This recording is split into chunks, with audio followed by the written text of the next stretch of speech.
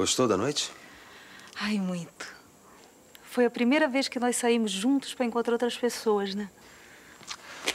Eu andei pensando naquilo que você me disse sobre nós dois. Eu vou falar com meu filho. Ele gosta de você, eu acho que não vai ter nenhum problema. Falar o quê com o Cacá? Eu quero que você vá morar comigo.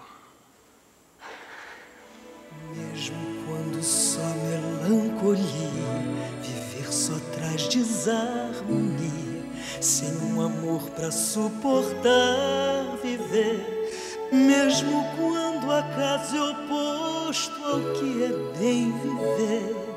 E choras sem saber bem por que foi. Sofia e Dona Elisa estão criando o maior caso com visita para as crianças. Mas como a senhora está com a médica, né? Eu vou chamar, com licença. À vontade. Doutora, como é que vai a Carolina? Ela tá bem? Fisicamente sim, Cláudia, mas ela tá muito triste. Triste? É, triste. Tem que estar também, né? Ela tá longe de você.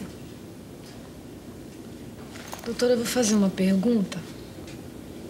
Eu gostaria que a senhora fosse sincera, porque é muito importante para mim.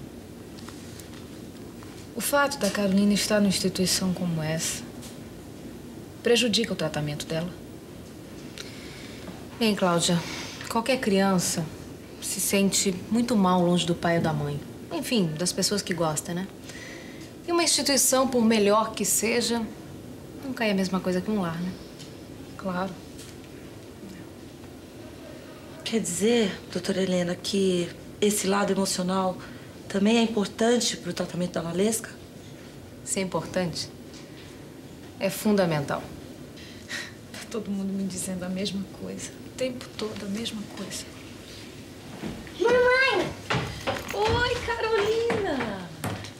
Meu amor, como você tá linda! Como você tá linda! Como eu tô com saudade de você! Olha quem tá aqui! Olha! Oh, dona Cláudia, como está a senhora, dona Alice? Que alegria! hein? Oi, José. Oi. Bom, eu espero você lá fora, tá bom? Tá. Tchau, gente. É.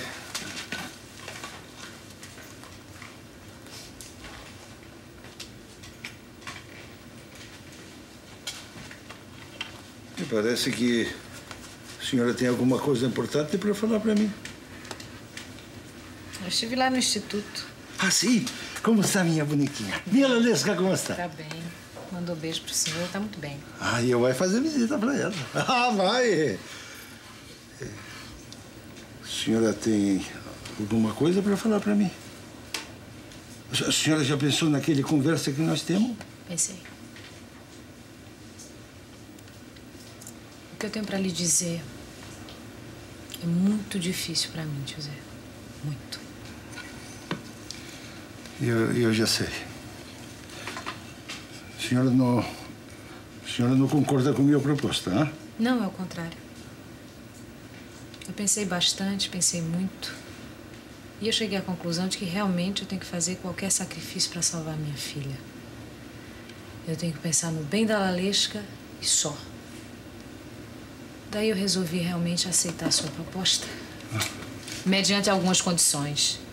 Condições essas que eu quero deixar muito claras. Sim, eh, sim mas eh, que, que condições? eh? José, se essas conclusões, se essas condições que eu tenho para colocar, que eu estou impondo, forem atendidas,